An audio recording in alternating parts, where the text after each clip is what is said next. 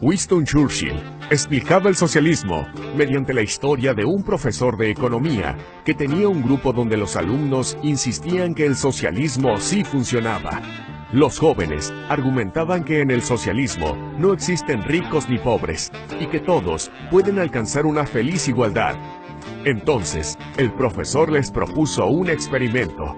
Para que fueran socialistas, las calificaciones de la clase se promediarían y así todos tendrían la misma calificación.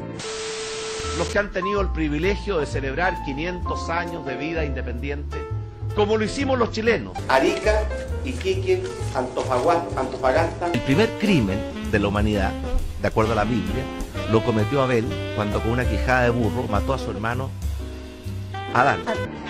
En el primer examen, como siempre, algunos estudiaron mucho, otros poco y algunos casi nada.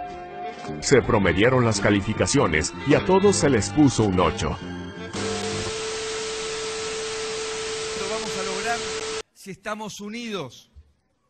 Si logramos que 1 más 1 sea igual a 3. 1 más 1 sea igual a 3. We, we, we, we rock you. A boy, make a big noise, in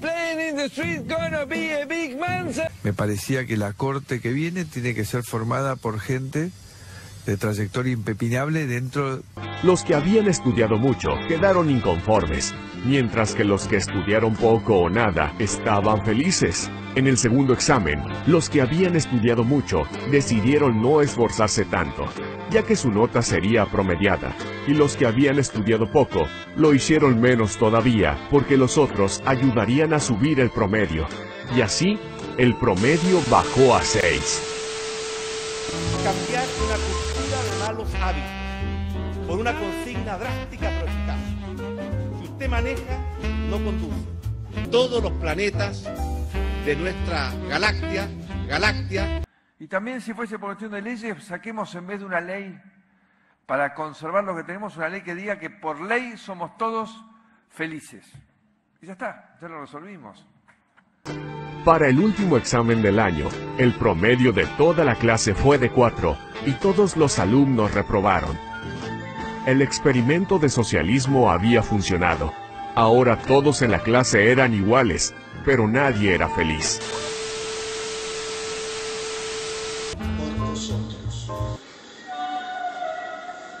Tenemos que encontrar mecanismos inteligentes para generar más trabajo, para bajar el nivel de litigiosidad que tenemos en la Argentina. por el terremoto que remeció la tierra bajo nuestros pies y por el maremoto que sacudió nuestras costas. El socialismo ha fracasado una y otra vez en el mundo, porque los que no trabajan se benefician de los que sí lo hacen. Porque no hay beneficios para los que se esfuerzan, pero sí hay premios para los que evitan las responsabilidades. En el socialismo, el que trabaja termina pagando doble, y nunca nadie alcanza la excelencia, por lo que la mediocridad termina prevaleciendo. El socialismo es la igualdad pero de la pobreza y la mediocridad. Por favor comparte para sacar el socialismo de nuestra forma de pensar. en un festival de Viña del Mar cuando era un debutante y que se llevó todas las antorchas, todos los premios, todas las palomas, todas las palomas. Con la frontera norte, que ahora con el apoyo del narcotráfico, del, ejército, fortalecemos la lucha contra el narcotráfico.